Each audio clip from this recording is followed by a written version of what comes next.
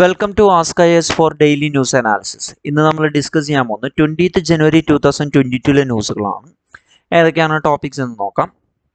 Safai Karmacharis and ഈ ഫ്രോം portal രണ്ട് ടോപ്പിക്സ് ആണ് ഇന്ന് നമുക്ക് ഡിസ്കസ് ചെയ്യാനുള്ളത്.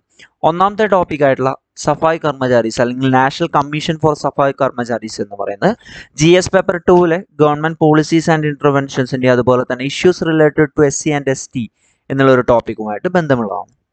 റീസെന്റ് യൂണിയൻ ക്യാബിനറ്റ് അപ്രൂവ് ചെയ്തൊരു കാര്യം എന്ന് പറയുന്നത് ഈ national commission for Safai Karmacharis N C S കെയുടെ ഒരു മൂന്ന് വർഷത്തേക്ക് കൂടി മുപ്പത്തൊന്ന് മാർച്ച് രണ്ടായിരത്തി ഇരുപത്തിരണ്ടിന് ശേഷം അവരുടെ ടെന്യൂർ എക്സ്റ്റെൻഡ് ചെയ്തിരിക്കുകയാണ് ചെയ്തത്. ഇതിന്റെ മേജർ ആയിട്ടുള്ള ബെനിഫിഷ്യറീസ് എന്ന് പറയുന്നത് സഫായി കർമ്മചാരീസും അതുപോലെ തന്നെ ഐഡന്റിഫൈഡ് ആയിട്ടുള്ള മാനുവൽ സ്കാവഞ്ചേഴ്സ് ഇൻ കൺട്രി ആണ്. മാനുവൽ സ്കാവഞ്ചിങ് എന്ന് പറഞ്ഞ എന്താണ് നമുക്കറിയാം ഹ്യൂമൻ എക്സ്ക്രിമെന്റ് പബ്ലിക് സ്ട്രീറ്റുകളിൽ നിന്നും ഡ്രെയിൻ ലാറ്ററിൽസ് നിന്നും ക്ലീനിങ് സെപ്റ്റിക് ടാങ്ക് ക്ലീനേഴ്സ് ഈ ഒരു കൂട്ടത്തിലുള്ള ആൾക്കാരെയാണ് നമ്മൾ മാനുവൽ സ്കാവഞ്ചിങ് എന്നുള്ള ഒരു പ്രോസസ്സ് അല്ലെങ്കിൽ സ്കാവഞ്ചേഴ്സ് എന്ന് വിളിക്കുന്നത്. N C S K establish ചെയ്തത് ആക്ച്വലി ആയിരത്തി തൊള്ളായിരത്തി തൊണ്ണൂറ്റി മൂന്നിലാണ് N C S K act nineteen ninety three പ്രകാരം അതിന്റെ പ്രൊവിഷൻസ് അനുസരിച്ചിട്ടാണ് N C S K establish ചെയ്തിട്ടുള്ളത്. ഇത് ഗവൺമെന്റിനെ സഫായി കർമ്മചാരീസിന് വേണ്ടിയിട്ടുള്ള വെൽഫെയർ പ്രോഗ്രാം കാര്യങ്ങൾ ഉണ്ടാക്കുന്ന സമയത്ത് അവർക്ക് പ്രോപ്പറായിട്ടുള്ള റെക്കമെൻഡേഷൻസ് കാര്യങ്ങളൊക്കെ നൽകുന്നതിന് വേണ്ടിയിട്ടാണ് ഈ ഒരു ആക്ട് പ്രകാരം ഉണ്ടായിട്ടുള്ളത് N C S K act രണ്ടായിരത്തി നാല് ഫെബ്രുവരി ഇരുപത്തൊമ്പതിന് സീസ് ചെയ്തെങ്കിലും അതിനുശേഷം അതൊരു നോൺ സ്റ്റാറ്റേറ്ററി ബോഡി ആണെങ്കിൽ പോലും അത് കണ്ടിന്യൂ ചെയ്തുകൊണ്ടിരിക്കും ടൈം ടു ടൈം അതിനെ പല റെസൊല്യൂഷൻസ് കൊണ്ട് എന്താണ് വീണ്ടും അത് നമ്മളിപ്പോഴും യൂസ് ചെയ്യുന്നുണ്ട്. അവരിവിടെയുള്ള സഫായി കർമ്മചാരീസും അവരുടെ സ്പെസിഫിക് ഗ്രീവിയൻസസും കാര്യങ്ങൾ അവർക്ക് വേണ്ടിയിട്ടുള്ള പ്രോഗ്രാംസ് കാര്യങ്ങളൊക്കെ പഠിക്കുക ഇവാലുവേറ്റ് ചെയ്യുക എന്നുള്ളൊരു പ്രോസസ്സാണ് അവർ ചെയ്യുന്നത്. ഇവരുടെ പ്രൊവിഷൻസ് പ്രകാരം വേറൊരു കാര്യം എന്ന് പറയുന്നത് prohibition of employment as manual scavengers and the rehabilitation act two thousand thirteen എന്ന് പറയുന്ന ഒരു ആക്ട് കൂടിയുണ്ട്. അതിന്റെ പ്രൊവിഷൻസ് പ്രകാരം എൻ സി എസ് കെക്ക് അസൈൻ ചെയ്തിട്ടുള്ള വർക്ക് എന്ന് പറയുന്നതാണ് ഈ ഒരു ആക്ടിന്റെ ഇംപ്ലിമെന്റേഷനും അതിന് വേണ്ടിയിട്ട് സെൻട്രലിനെയും സ്റ്റേറ്റ് ഗവൺമെന്റ്സിനെയും കാര്യങ്ങൾ എന്താണ് അവരുടെ കംപ്ലയിൻസ് ഇതുമായിട്ട് റിഗാർഡിംഗ് ആയിട്ടുള്ള കോൺട്രവെൻഷൻസ് അല്ലെങ്കിൽ ഇംപ്ലിമെന്റേഷൻ എന്തെങ്കിലും പ്രശ്നങ്ങളുണ്ട്. ഇതൊക്കെ അഡ്വൈസ് ചെയ്യുന്നത് കൂടി ഇവരുടെ വർക്കായിട്ട് മാറിയിട്ടുണ്ട് ചെയർപേഴ്സണും മെമ്പേഴ്സ് ഓഫ് ദ കമ്മീഷനും രാജ്യം മൊത്തം ടൂർ ചെയ്ത് ഇവർക്ക് വേണ്ടിയിട്ടുള്ള സോഷ്യോ എക്കണോമിക് അതുപോലെ തന്നെ ലിവിങ് കണ്ടീഷൻസ് കാര്യങ്ങളും അവരെയും സഫായി കർമ്മചാരീസിനെയും അതുപോലെ തന്നെ അവരുടെ ഡിപ്പെൻഡൻസിനെയും പറ്റി പഠിക്കുക എന്നുള്ള ഒരു ലക്ഷ്യം കൂടി അവർക്ക് നിലവിലുള്ളതാണ്. ഈ ഒരു കമ്മീഷൻ അവരുടെ ഫാക്ച്വൽ ആയിട്ടുള്ള റിപ്പോർട്ട്സ് കാര്യങ്ങൾ അവരുടെ കംപ്ലയിൻസും പെറ്റീഷൻസും എല്ലാം കൺസേൺ ചെയ്തിട്ട് അതിന് വേണ്ടിയിട്ടുള്ള അതോറിറ്റീസുമായിട്ടും ഒക്കെ ഡിസ്കസ് ചെയ്ത് അവരുടെ ഈ പറയുന്ന ഒരു ഗ്രീവിയൻസ് റിഡ്രസൽ മെക്കാനിസവുമായിട്ട് വർക്ക് ചെയ്യുന്നുണ്ട്. ഇനി നോക്കാം. As per the N C S K two thousand twenty data പ്രകാരം ഏകദേശം അറുന്നൂറ്റി മുപ്പത്തിയൊന്ന് ആൾക്കാരാണ് രാജ്യത്തുടനീളം ഈ പറയുന്ന സ്യൂവേസ് ക്ലീൻ ചെയ്യുന്നതിലും സെപ്റ്റി ടാങ്ക് ക്ലീൻ ചെയ്യുന്നതിനിടയിൽ മരിച്ചിട്ടുള്ളത്.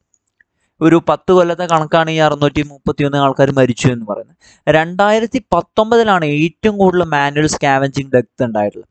ഈ ഒരു അവസാന അഞ്ച് വർഷം നോക്കുന്ന സമയത്ത് നൂറ്റിപ്പത്ത് വർക്കേഴ്സാണ് ഈ പറയുന്ന ക്ലീനിങ്ങിന്റെ ഇടയിൽ മരിച്ചിട്ടുള്ളത്.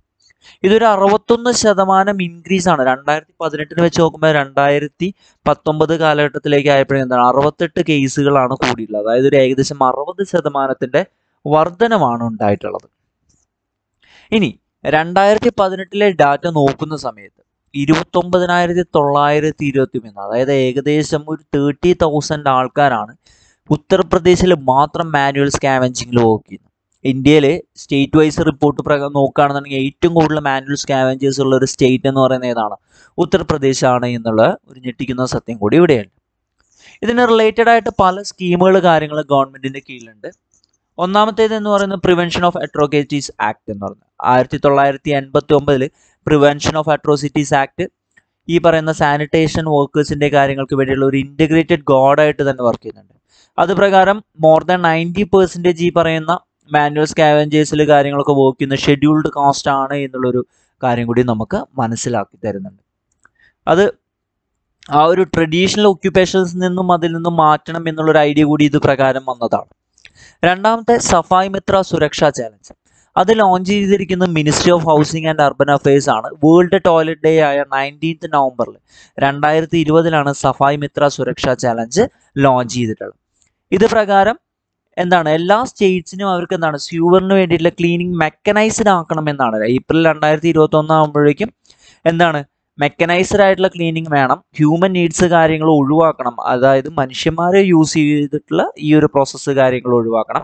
ഇനി അങ്ങനെ ഉണ്ടാവുന്ന സമയത്ത് മനുഷ്യന്മാരെ ഒഴിവാക്കാൻ പറ്റാത്തൊരു സിറ്റുവേഷൻ ആണെങ്കിൽ പോലും അത് അൺഅവോയ്ഡബിൾ ആയിട്ടുള്ള എമർജൻസി കാര്യങ്ങളാണ്. പ്രോപ്പർ ആയിട്ടുള്ള ഗിയറും ഓക്സിജൻ ടാങ്കും എല്ലാം പ്രൊവൈഡ് ചെയ്തതിന് ശേഷം മാത്രമേ അവരെ ഇതിൽ ഉപയോഗിക്കാൻ പാടുള്ളൂ എന്നാണ് പറഞ്ഞിരിക്കുന്നത്. അതുപോലെ തന്നെ സ്വച്ഛത അഭിയാൻ ആപ്പ് എന്ന് പറയുന്നത്. അത് ഈ പറയുന്ന ജിയോ ടാഗ് ചെയ്യാൻ വേണ്ടിയിട്ടുള്ള ഇൻസാനിറ്ററി ആയിട്ടുള്ള ലാട്രിൻസും മാനുവൽ സ്കാവഞ്ചേഴ്സും ഇൻസാനിറ്ററി ലാട്രിൻസിന്റെ കാര്യങ്ങൾ എങ്ങനെ സാനിറ്ററി ലാട്രിൻസ് ആയിട്ട് റീപ്ലേസ് ചെയ്യാം? ഈ മാനുവൽ സ്കാവഞ്ചേഴ്സിന് അവർക്കൊരു ഡിഗ്നിറ്റി ഓഫ് ലൈഫ് എങ്ങനെ കൊടുക്കാം എന്നുള്ളതിനൊക്കെ വേണ്ടിയിട്ട് ഡെവലപ്പ് ചെയ്തിട്ടുള്ള ഒരു ജിയോ ടാഗ് ചെയ്യുന്ന ഒരു ഡാറ്റ പ്രോസസ്സിംഗ് ആണ് ഇതെന്ന് പറയുന്നത്. സ്വച്ഛത അഭിയാൻ ആപ്പ് എന്ന് പറയുന്നത്.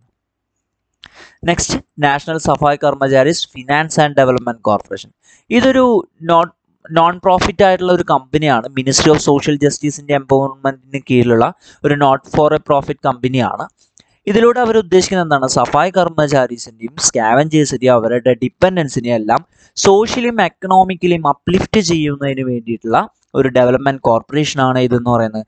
National Safai Karmacharis finance and development corporation എന്ന് പറയുന്നത്.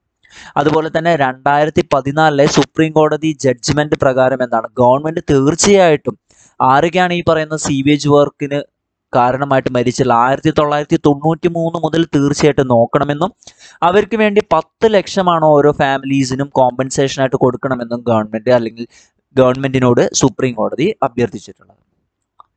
ഇതിലെല്ലാത്തിലും നേരത്തെ ഞാൻ ഓൾറെഡി പറഞ്ഞൊരു കാര്യം കൂടിയാണ് ഒന്നുകൂടി എടുത്തു പറഞ്ഞു. Provision of employment of manual scavengers and the rehabilitation act two thousand thirty ഈ ഒരു ആക്ട് മാനുവൽ സ്കാവഞ്ചേഴ്സിനെ എംപ്ലോയ് ചെയ്യുന്നത് പ്രോഹിബിറ്റ് ചെയ്യുന്നു. അതായത് മാനുവൽ ക്ലീനിങ് ഓഫ് സ്യൂവേസും സെപ്റ്റിക് ടാങ്ക്സും പ്രൊട്ടക്റ്റീവ് ആയിട്ടുള്ള എക്യുപ്മെന്റ് ഇല്ലാത്ത പക്ഷം അവരെ മാനുവൽ ക്ലീനിങ്ങിന് വിളിക്കുന്നത് പ്രോഹിബിറ്റ് ചെയ്യുന്ന ഒരു ആക്ട് ആണ് ഇതെന്ന് പറയുന്നത്. ഈ provision of employments of manual scavengers and the year rehabilitation act two thousand thirty അതുപോലെ തന്നെ ഒരാളും ഒരു ലോക്കൽ അതോറിറ്റിയോ ഒന്നും എന്താണ് അസാഡസ് ആയിട്ടുള്ള സ്യൂവേഴ്സ് സെപ്റ്റിക് ടാങ്ക്സ് ക്ലീൻ ചെയ്യുന്നതിന് എൻഗേജ് ചെയ്യാൻ പാടില്ല. അതിന് ആൾക്കാരെ എംപ്ലോയ് ചെയ്യാൻ പാടില്ല എന്നാണ് പറയുന്നത്. അതെല്ലാം മെക്കനൈസ്ഡ് ആയിട്ടുള്ള ക്ലീനിങ് തന്നെ ആയിരിക്കണം എന്നാണ് പറയുന്നത്. അതുപോലെ തന്നെ ഈ പറയുന്ന മാനുവൽ സ്കാവഞ്ചേഴ്സിനും അവരുടെ അവർക്ക് വേണ്ടിയിട്ട് ഒരു ആൾട്ടർനേറ്റീവ് എംപ്ലോയ്മെന്റ് കൂടി ഒരുക്കാൻ വേണ്ടിയിട്ട് ഈ ഒരു ആക്ടിൽ പ്രതിപാദിക്കുന്നുണ്ട്. അതുപോലെ തന്നെ ഇൻസാനിറ്ററി ആയിട്ടുള്ള ലാട്രൻസ് കാര്യങ്ങൾ ഓക്യുപ്പൈ ചെയ്യുന്ന സമയത്ത് അതെന്താണ്? അവിടുത്തെ ആ ഒരു ലാട്രിൻ കാര്യങ്ങൾ ഡിമോളിഷ് ചെയ്ത് സ്വന്തം ചെലവിൽ ഗവൺമെന്റ് അല്ലെങ്കിൽ ലോക്കൽ അതോറിറ്റി എന്ത് ചെയ്യണം? അതിനെ കൺവേർട്ട് ചെയ്തുകൊണ്ട് ഈ പറയുന്ന പ്രോപ്പർ ആയിട്ടുള്ള സാനിറ്റേഷൻ ഫെസിലിറ്റി ആക്കണമെന്നും ഇത് ഈ ബില്ല് പ്രകാരം പറയുന്നുണ്ട്. ഇനി ഇതിൽ ചെറിയ ചേഞ്ചസ് കാര്യങ്ങളൊക്കെ ഉൾപ്പെടുത്തിയിട്ട് ഒരു അമെൻമെന്റ് ബില്ല് രണ്ടായിരത്തി ഇരുപതിൽ ഇൻട്രൊഡ്യൂസ് ചെയ്തിട്ടുണ്ട്. നെക്സ്റ്റ് നമ്മൾ ഡിസ്കസ് ചെയ്യാൻ പോകുന്നത് ഈസ്രാം പോർട്ടൽ ഇത് ministry of labour and employment launch ചെയ്ത ഒരു പ്രോഗ്രാമാണ് ഈസ്രാം പോർട്ടൽ എന്ന് പറയുന്നത്. റീസെന്റ്ലി എന്താണ്? പല ക്യാമ്പുകൾ കാര്യങ്ങളും വർക്കേഴ്സിന് ഈസ്രാം പോർട്ടലിലേക്ക് രജിസ്റ്റർ ചെയ്യുന്നതിന് വേണ്ടിയിട്ട് നടത്തുന്നുണ്ട്. എന്താണ് ഇതെന്ന് നോക്കാം. ഈസ്രാം പോർട്ടൽ എയിം ചെയ്യുന്ന ഏകദേശം മുപ്പത്തെട്ട് കോടി വരുന്ന അൺഓർഗനൈസ്ഡ് ആയിട്ടുള്ള വർക്കേഴ്സിനെ രജിസ്റ്റർ ചെയ്യുന്നതിന് വേണ്ടിയുള്ള ഒരു പോർട്ടലാണ് ഈസ്രാം പോർട്ടൽ എന്ന് പറയുന്നത്. അതിൽ കൺസ്ട്രക്ഷൻ ലേബറേഴ്സ് ഉണ്ടാവും മൈഗ്രന്റ് വർക്ക് ഫോഴ്സ് ഉണ്ടായിരിക്കും സ്ട്രീറ്റ് വെൻഡേഴ്സ് ഉണ്ടായിരിക്കും ഡൊമസ്റ്റിക് വർക്കേഴ്സ് ഒക്കെ ഇതിന്റെ അകത്ത് ഉൾപ്പെടുന്നതാണ്. ഈ ഒരു വർക്കേഴ്സിന് ഈസ്രാം പ്രകാരം ഒരു കാർഡാണ് ഈസ്രാം കാർഡ് കൊടുക്കും. അതിൽ പന്ത്രണ്ട് ഡിജിറ്റുള്ള ഒരു യുണീക്ക് നമ്പർ ഉണ്ടായിരിക്കും. ഈസ്രാമിൽ രജിസ്റ്റർ ചെയ്ത ഒരു വർക്കർക്ക് അല്ലെങ്കിൽ ഈസ്രാം പോർട്ടലിൽ എന്തെങ്കിലും ഒരു ആക്സിഡന്റ് കാര്യങ്ങൾ ഉണ്ടാവുന്ന പക്ഷം എന്താണ്? അവർ രണ്ട് ലക്ഷം ഡെത്ത് കേസിലുള്ള സമയത്ത് രണ്ട് ലക്ഷവും അല്ലെങ്കിൽ ഡെത്ത് തന്നെ ആവണമെന്ന് നിർബന്ധമില്ല. ഒരു പെർമനന്റ് ഡിസബിലിറ്റി ഉണ്ടാവുകയാണെങ്കിലും രണ്ട് ലക്ഷത്തിന്റെ ഇൻഷുറൻസ് കാര്യങ്ങൾ കവറേജ് ഉണ്ട്. അതുപോലെ തന്നെ പാർഷ്യൽ ഡിസബിലിറ്റി ആണെന്നുണ്ടെങ്കിൽ വൺ ലാക്കിന്റെ ഒരു കവറേജ് കൂടി ഈ സ്റ്റാം പോർട്ടൽ വഴി നൽകുന്നുണ്ട്. ഇനി ഇതിന്റെ ഒരു ബാക്ക്ഗ്രൗണ്ട് എന്ന് പറയുന്നത് ഈ സ്റ്റാം പോർട്ടൽ സുപ്രീം കോടതി ഡയറക്റ്റ് ചെയ്തത് പ്രകാരമാണ് വരുന്നത്. ഗവൺമെന്റിനെ രജിസ്ട്രേഷൻ പ്രോസസ്സിലൂടെ ഈ അൺഓർഗനൈസ്ഡ് ആയിട്ടുള്ള വർക്കേഴ്സിനെ ഓർഗനൈസ് ചെയ്യുന്നതിന് വേണ്ടിയിട്ടുള്ള ഒരു പ്രോഗ്രാം തീർച്ചയായിട്ടും ചെയ്യണമെന്ന് സുപ്രീം കോടതി പറഞ്ഞത് പ്രകാരമാണ് ഈ ശ്രം പോർട്ടൽ കൊണ്ടുവന്നത്. അതുകൊണ്ട് തീർച്ചയായിട്ടും എന്താണ് ആ ഒരു അൺഓർഗനൈസ്ഡ് ആയിട്ടുള്ള സെക്ടേഴ്സിന് പല വെൽഫെയർ ബെനിഫിറ്റ്സും കാര്യങ്ങളൊക്കെ ഗവൺമെന്റ് സ്കീമിലൂടെ കിട്ടും. ഇനി ഗവൺമെന്റ് സ്റ്റേറ്റിലെയും യൂണിയൻ ടെറിട്ടറീസിലും ഗവൺമെന്റ് ആണ് ഇവരെ രജിസ്റ്റർ ചെയ്യുന്നതിന് വേണ്ടിയിട്ടുള്ള പ്രോസസ്സ് നടത്തുന്നത്. ഈ അൺഓർഗനൈസ്ഡ് ആയിട്ടുള്ള സെക്ടർ കംപ്ലീറ്റ് ആയിട്ട് സെൻട്രൽ ഗവൺമെന്റ് അല്ല ചെയ്യുന്നത്. അതാത് സ്റ്റേറ്റ് ഗവൺമെന്റ് അല്ലെങ്കിൽ യൂണിയൻ ടെറിട്ടറിയിലെ ഗവൺമെന്റ്സ് ആണ് ഇത് ഇംപ്ലിമെന്റ് ചെയ്യുന്നത്. ഇന്ത്യയിലെ അൺഓർഗനൈസ്ഡ് ആയിട്ടുള്ള സെക്ടറിന്റെ ഒരു സ്റ്റാറ്റസ് നമ്മൾ നോക്കുന്ന സമയം ministry of labour and employment ഇതിനെ നാല് കാറ്റഗറീസ് ആയിട്ട് തിരിച്ചിട്ടുണ്ട്. അത് കാറ്റഗറൈസ് ചെയ്യുന്നത് ഈ അൺഓർഗനൈസ്ഡ് സെക്ടേഴ്സിന് ചില ഗ്രൂപ്പുകളായിട്ട് കാറ്റഗറൈസ് ചെയ്തിട്ടുണ്ട് അത് ഏതൊക്കെയാണ് നോക്കാം. ഒന്നാമത്തെ ഒക്യുപ്പേഷനാണ് അത് പ്രകാരം സ്മോൾ ആൻഡ് മാർജിനൽ ഫാമേഴ്സ് എന്നും landless agriculture labourers sharecroppers fisherman animal husbandry beedi make അങ്ങനെയുള്ള പല രീതിയിൽ ഒക്യുപ്പേഷനെ ബേസ് ചെയ്തിട്ട് ഒരു ക്ലാസിഫിക്കേഷൻ ഉണ്ട്. രണ്ടാമത്തെ നാച്ചർ ഓഫ് എംപ്ലോയ്മെന്റ് അറ്റാച്ച്ഡ് ആയിട്ടുള്ള അഗ്രികൾച്ചർ ആണോ ബോണ്ടഡ് ആണോ മൈഗ്രന്റ് വർക്കർ ആണോ കോൺട്രാക്ട് വർക്കർ ആണോ അതോ കാഷ്വൽ ലാബേഴ്സ് ആണോ? അതായത് എംപ്ലോയ്മെന്റിനെ ബേസ് ചെയ്തിട്ട് ഒരു ക്ലാസിഫിക്കേഷൻ ഉണ്ട്.